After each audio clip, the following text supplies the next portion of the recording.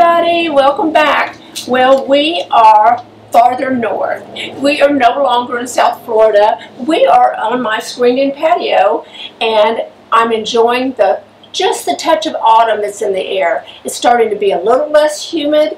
It's a little bit of crispness in the air in the mornings and I have a tree just outside my screened-in patio that's always the first tree to change colors and it turns a bright, bright yellow. And that's what I'm seeing right now are the beginnings of those leaves changing. And my Japanese maples have already started changing, so that puts me in the crafting spirit. I don't craft a lot. I craft maybe once every few months, but when I do, I really enjoy it. And since we have a little extra time on our hands lately, this is the perfect time to do that. It, it, What would make it even more perfect if it was a rainy day? I love doing things like this on a rainy day because I just feel like I'm using my time wisely and doing something fun. So what we're going to do with all of these autumn colors is make autumn decorations that are very similar to a Christmas ornament. However, it's done with autumn maple leaves, mums, whatever you want to use. I have a whole stack of things here because I have a crafting area in my house and I keep all of my things in one area and I use them in different ways each year. And this year I'm going to make these ornaments. I've made them for Easter in the past and I've made them for Christmas but I've never done it for autumn and so that's what we're going to do today is make ornaments for autumn and what I have is a wire what I have is a wire tree. Now what I did last year was cover this in gold and silver ornaments. But I'm going to get this a little closer, you can see what it is It's just a wire little tree that I found in an antique store and I don't know what it's actually used for. One of my friends told me it was a pasta dryer but I'm not sure about that unless whoever had it in the past bent these little wires. I'm not sure but I have used this for several occasions. So that's what we're going to use today. Now if you don't have anything like this what I think would be even a better idea, I just happen to already have this out, but try a tree branch, just a plain tree branch. And let me show you what I'm talking about.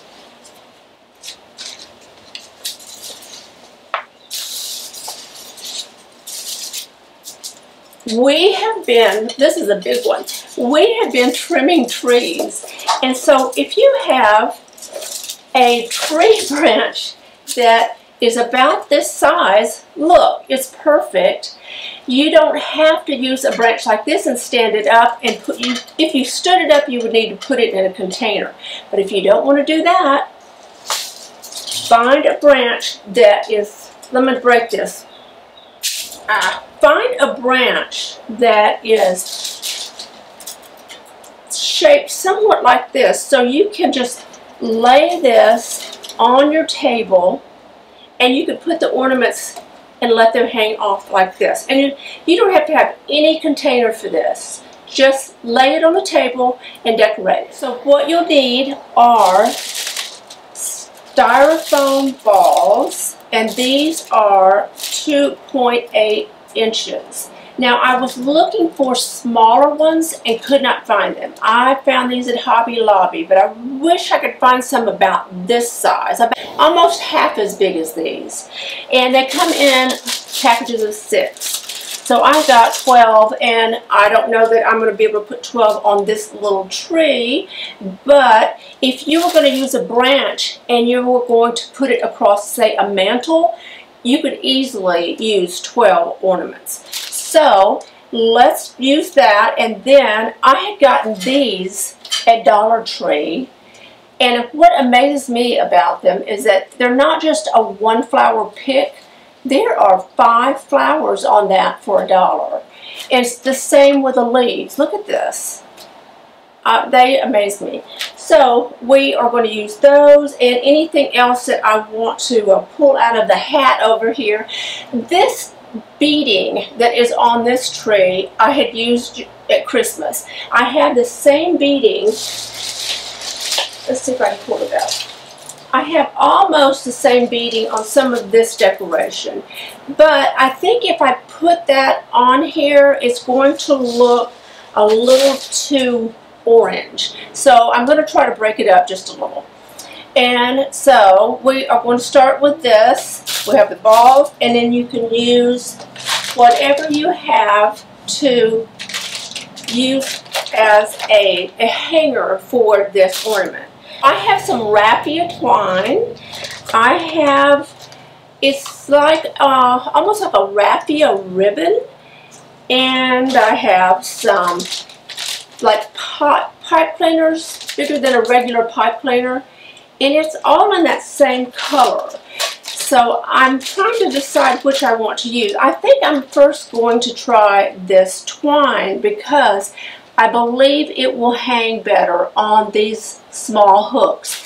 But this is perfect as well. If I had a larger branches like on the tree branch, just think about that. You could hang these like this and that would look beautiful itself very rustic looking. And this time of year just screams rustic to me. Now you know this home is not modern in the least. So I like a little bit of rustic in the house to go with it. If I put something too modern it just stands out doesn't fit in at all. And so even though this is a wire tree I'm going to try to make this work so what I will do is look for my scissors. Here they are. Um, what I will try to do is take this twine. Let's see. I think I want it to hang down about an inch or two. Let's try that. Now what I'm doing is cutting this and then I have floral pins that I'm going to use to make this attached to the foam ball.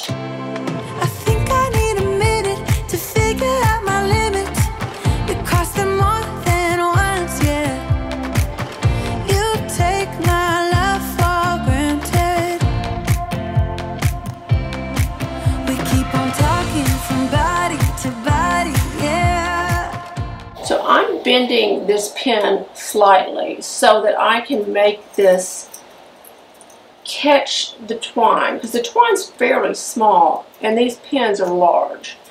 So all I'm doing is putting that just like this. Let's see if that will work.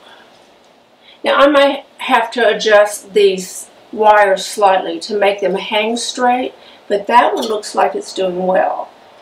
And so that's the beginning you have something to hang it with, and then you have something to use to attach your leaves and flowers. What I'm doing is cutting the flowers off of the stem. And I'm going to use these first, and then if I need to fill in, I'm going to pull off these leaves and fill in with those. And I might do it anyway just to add a, some depth to the decoration. But if you don't want to do this in the way I'm doing it, which is just stick these into the styrofoam ball, you can hot glue them. But I don't see any need to actually hot glue these yet. Now, I may change my mind, but right now, I have been able to attach these to it. And in the past, when I've done this for other holidays, I've never had any problem with them coming out.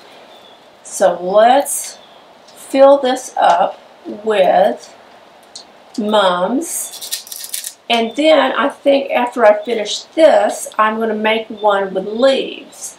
And then you can always do a little of both. But you can see that I am just pressing these into this. And when I get finished with this, it's going to be beautiful. So I did pull off a few leaves from the branches and I'm just pinning these on with floral pins just to add a little bit of interest to it. And There we go. Can you imagine doing this for Christmas with red Christmas flowers and holly? I have. I've done it. I just have to create something every once in a while for myself. And this is one of the things that I like to do are little, little projects like this.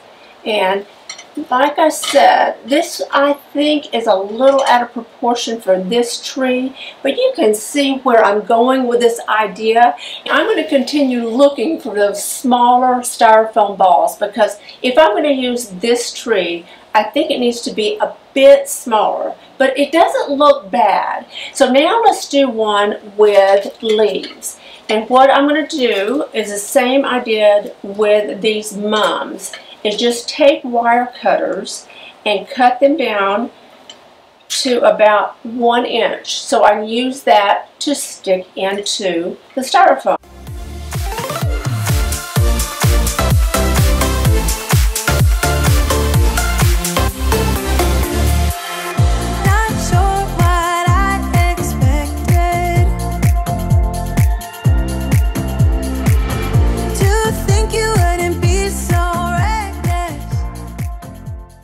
You have a need to make something and be creative, you could do this for any occasion. This is just perfect with blue or pink for a baby shower. You can name a million different ways to use this. You just take the general idea and run with it. Just use whatever colors work for you or for whatever occasion you are using it for.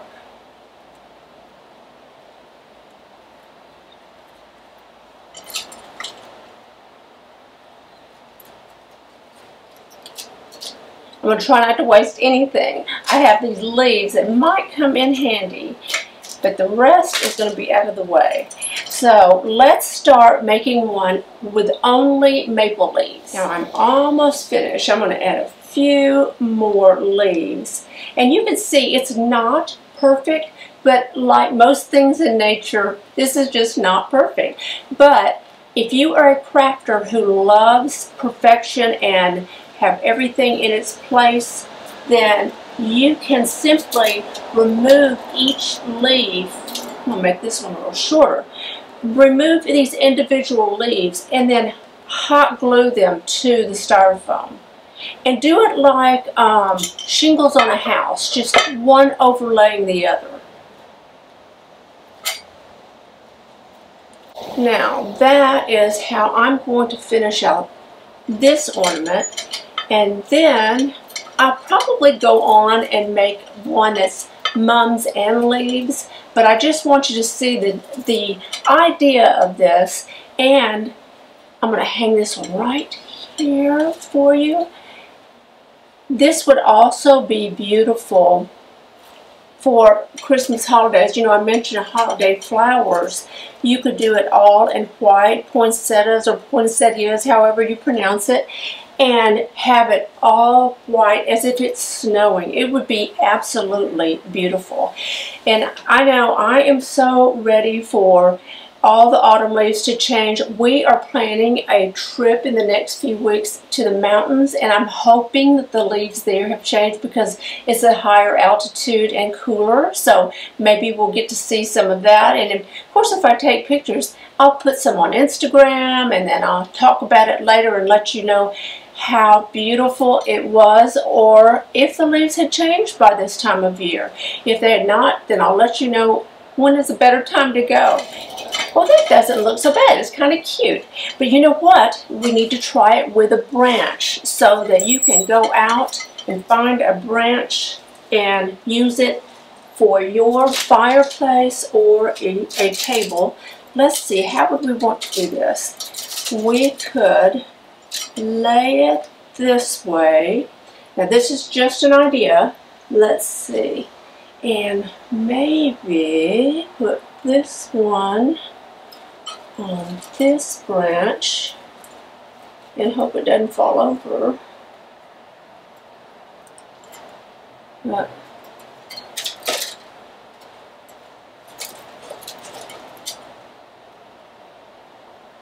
and then our mums we could put here. Let's see. Let's break off this little piece here and attach it. Hey, that's kind of cute. I hope this gives you some ideas and I hope that if you haven't started your crafting, this might be a good time to get started. And if you like this idea, please give this video a thumbs up. And if you're not a subscriber, I would love to have you as a subscriber. So tap the subscribe button and follow me on Instagram. Bye.